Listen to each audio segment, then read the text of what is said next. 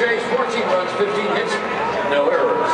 Playing pitchers Brian Tallet, his record 6 and 9, lost to Sergio Mitre, his record 3 and 2. This afternoon's attendance of 30,873.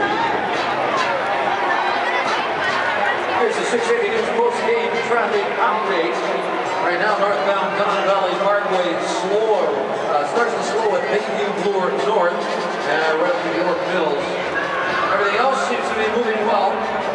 Shore moving westbound slows around the X grounds to about Jameson. Remember, 680 News is traffic and weather together. Every 10 minutes, on the wise.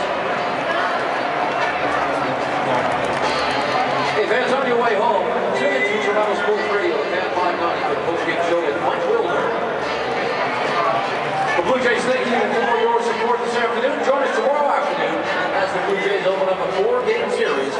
aí, vitória do James. O jogo foi 14 a 8. Os caras ganharam dos New York Yankees aqui em casa, no Roger Center.